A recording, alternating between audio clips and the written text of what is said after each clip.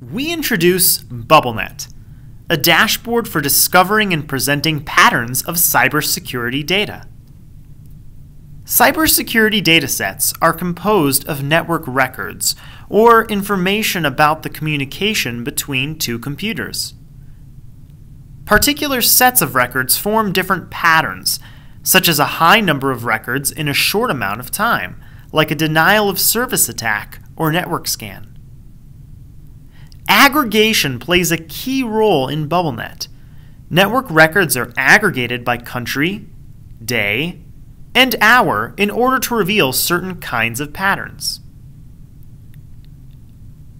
BubbleNet is composed of five main views a selection overview, temporal view, attributes drill down, location based view, and details on demand records.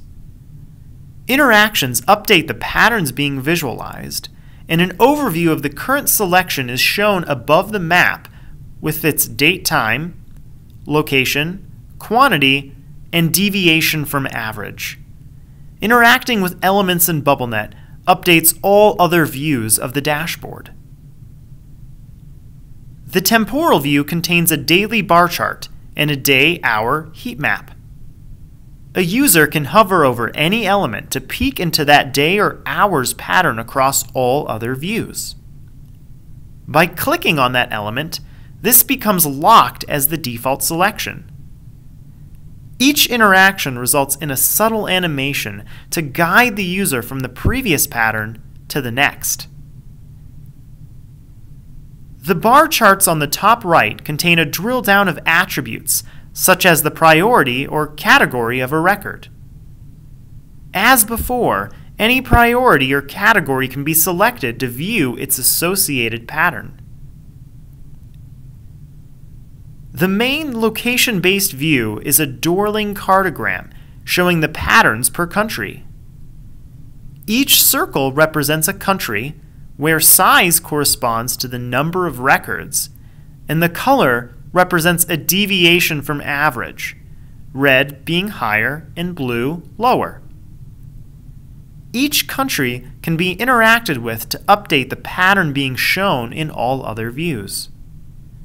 When visualizing a country's pattern, all bar charts become bullet charts, where the inner dark bar represents the country's value within the entire world's lighter gray bar, where a line indicates that country's average value over time. Below the dashboard, there is a Details on Demand records table, providing necessary details such as record IDs or names, so that situations can be investigated further. The BubbleNet dashboard is a result of a user centered design process and was deployed in a research environment. Furthermore, Elements of this dashboard were adopted for use in several operational environments. For further details on BubbleNet and our design process, please see our companion paper.